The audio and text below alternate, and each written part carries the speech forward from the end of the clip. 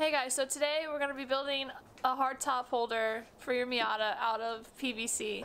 Um, it cost me less than $30 to build.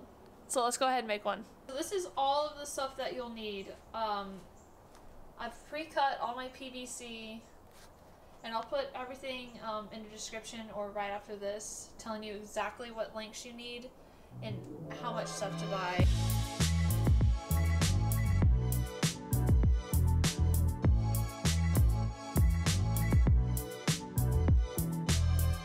What you're gonna wanna start with is a T and your six inch. Put that in there like that. And then put another T facing like this. So this will actually be the very front support.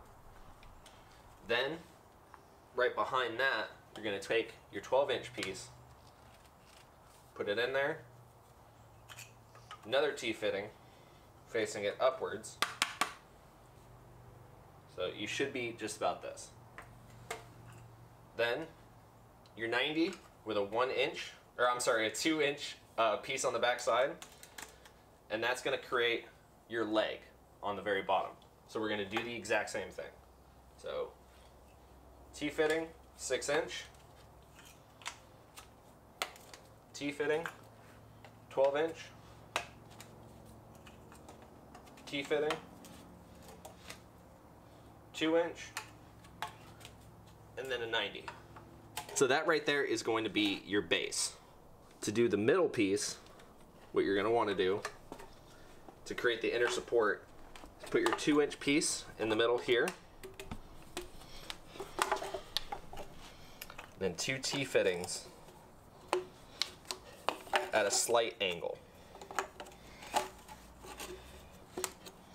So now what you're gonna wanna do is take your 26 and a half inch pipe and put this together with these two to connect them. So that right there will give you your base. So now on the back side, you're gonna take 23 and 1 fourth and set these in here.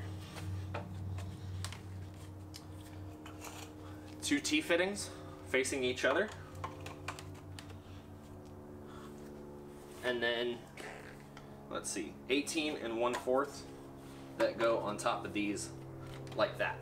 Now we have this one, which is 33 and a half inches.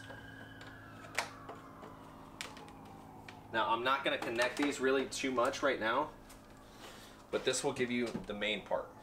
For the top section, this is going to go onto the top, two inch coupler in, in the middle, and then your T-fitting like that. That's going to go here on both sides.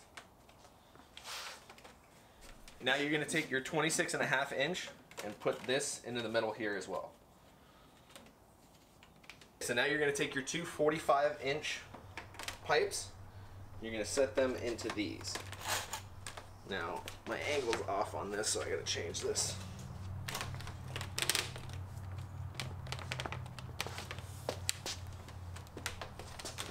Pop that in there. Then all you need to do is just angle this so that they line up with the top.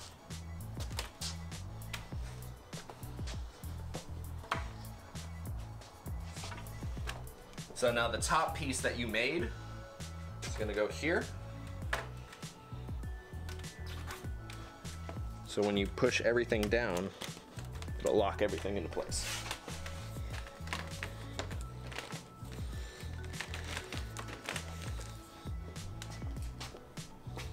Now once all that's basically roughed up, what you can do is you can take your mallet and start tapping everything in. You'll see that it shrinks quite a bit.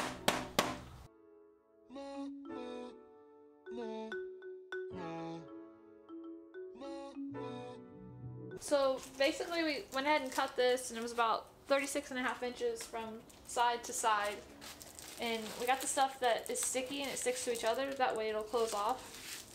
And this is where the top sits, like the window and all that. That way it doesn't get messed up at all or anything. We're also going to do this on the bottom. You know, Tyler went ahead and cut this to 8 inches. I mean, you can do whatever you feel is right. I know they sell T foams as well. They're just a bit more expensive. Just gonna cut it a little bit here up against that. That way I can get it to seal here at the bottom, but there's still protection up on top.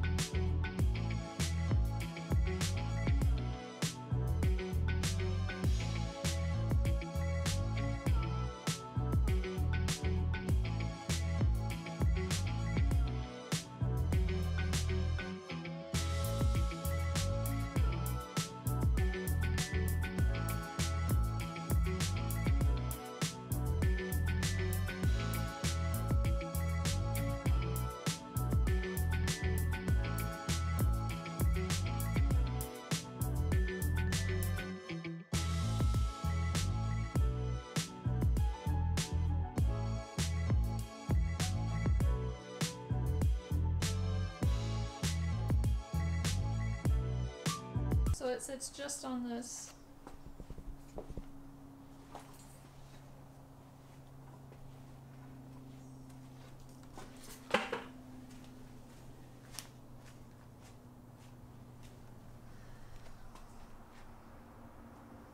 So it really doesn't take that long to do. Probably took us, I don't know, say an hour to cut all the PVC and everything and put it together. Um, you can put the foam wherever you like. You can get more and cover the whole thing. Um, but that's how you make it. It's really sturdy. I mean, like, as you can see, it doesn't move that much. That's how it is. Comment below if you like it. Let me know if you need any help. But I'll put in the description below what you need to make it and all the size PVCs that you need to cut. Later.